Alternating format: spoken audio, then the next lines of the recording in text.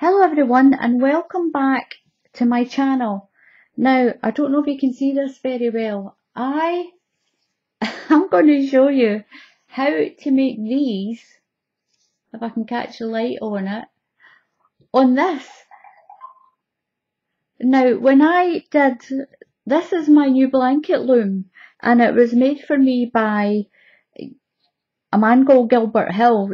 His name, he gets called Gil and his wife Rose is in my craft group and I got one of these, I got one of these to try. Now when I did the tutorial for this I dropped it on the floor so I need to be very careful that I don't do that. When one of my subscribers saw the tutorial she says to me, she put a comment on and saying, that's a big bow maker. And you know something, it actually is because on some Eh, eh, isn't, but it can be. now, on some of my other tutorials, I actually use what's called a peg loom as a bow maker. Now, I'm going to show you this one's that I did this one in black ribbon. Now, I'm going to show you how you can actually do these great big things like this to go on your blankets, and you can actually make it on your actual blanket frame as long as it's not got nails so it comes sliding off easy. So I don't even know if Rose Hill even thought about this. So watch this, Rose Hill and Susan Lloyd. I know Susan's got one of these frames, her brother made hers. Now, I will put a little link to Rose Hill's selling pages where you can buy these new type peg looms. I know these peg looms have been around for a long time, but I haven't seen them being used for making blankets before, and I love this. You should just watch the other tutorial. Now, it doesn't matter what colour of ribbon you use, the principle is the same to get this big bow like this. I'm going to set that in there. Now, all you need to do is get your ribbon and then just hold it behind your peg. Okay, so we're going to go one, two, three, four. So go behind your peg that we're going to use. Move that out of the way. Now we're just going to work in a figure eight and I'm going to put four onto here. Okay? So we're behind all the pegs. Just ignore all these three go in front of the peg here and to the back, then bring it around to this one and go around to the back again, that's one, go around in a figure eight, around the front, around the back to that one and back to the front. That's two. Push it down, do it gently though, the next one, same again, round the front, around the back of that one, up to the back, that's three, and around again, and around the front for that one, and just push it down. I'm going to chance I'm going to put another one on, and around again, around the front of that one and through the back. So hold this running to the back and the short end that you have, bring that around to the front. You can fold your ribbon in half to make it look neater. It's up to you, or you can leave it flat. Bring it round to the front and what you're going to do is you're going to push it underneath the very bottom. Push it right through to the other side. So what you're going to do is swap your hands over so your short end's on this side and make what I call the little D just hold, this is your short end, you just hold your arm in like this, put this end up so it looks like a little letter V, and then put it through the hole. Then what you're going to do is swap your hands back, like this, and you're going to fold. Now this ribbon is quite thick. So just seesaw back and forward like this, tilt right and left, and right and left, and right and left, and that'll tighten that knot there. Now just carefully slide it up off your peg. Like a dicky bow now, doesn't it? And then just pull your loops out like that. And that's your got your fancy bow for your blanket. Now all you need to do now is put your two pieces of ribbon together. I'll show you how to cut perfect fishtails to cut the points in the ribbon. Now I'm sorry I don't have any wider white ribbon or a different colour that you can see better. So fold it in half and with the fold on this side and your openings of your ribbon are on this side.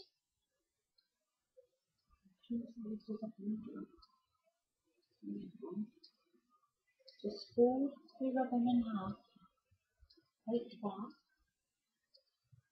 Get a good sharp pair of scissors and cut at an angle from your thumb to your fingers, from the front of your thumb to your knuckle over here. So put your scissors in at an angle like this and cut straight down like that. And that gives you perfect tails on the bottom of your ribbon.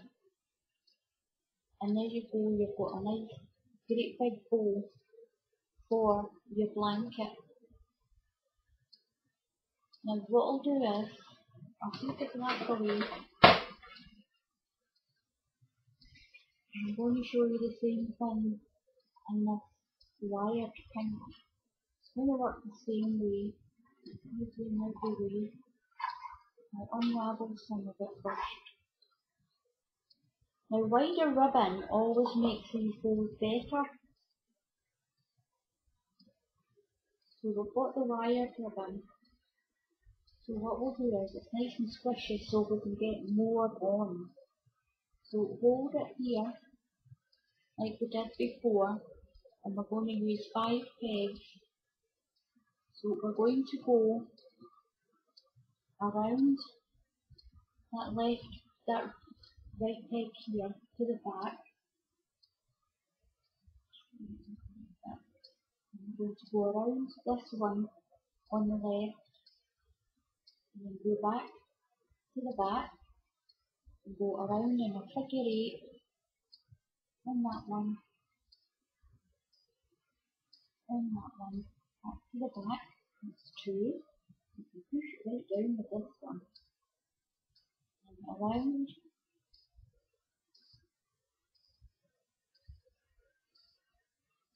And around. Make sure you try and keep it straight before you squash it down So when it gets squashed down, it's getting squashed down straight, it's not getting squashed down or bent. Push that one down. So again, nice and flat around this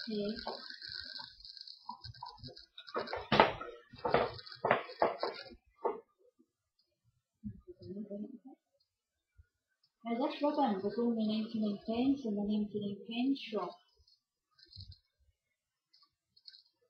So you can make these ribbons, because this stuff's really cheap, you can make these bows as big as you want. So I think I've got four on now. I'll be ambitious and do another two, we'll do six. It's nice and squishy. Just use it. It's only 99 pence. I know something might say something about, oh, it's not worth 99 pence. But it's going to make a beautiful bow anyway for less than a pound. So around once more. There you go. Push it on that side. Now because it's wire, I can actually just give it a little cut just now. So there we go. Now this is a rocking end, so we'll keep this end to here. This is a little short tail end. Now I'm going to expose itself. So just bring it round into the middle and tuck it right underneath the bottom. Pull it through. There we go. And yeah, now swap the hands over. Bring that around on that one. Use this one and make that little D shape. So where we were, this was the one we were winding with, and this was just my end. So I'm going to swap hands over like this, make a little loop like that, and turn that into a little V shape. Put this end through that end,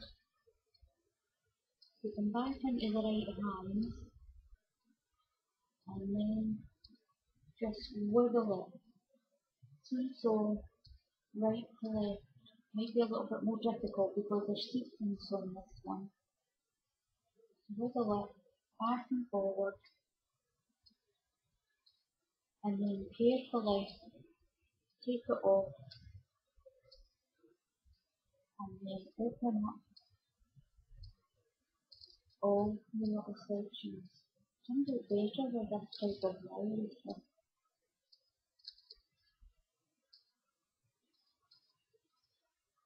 We've got one, two, three, four, five, six.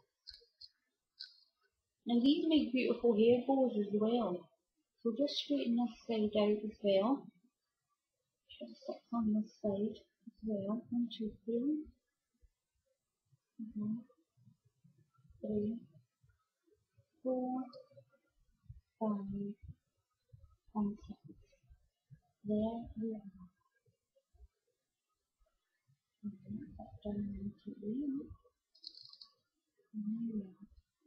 Now you can, if you want, just put them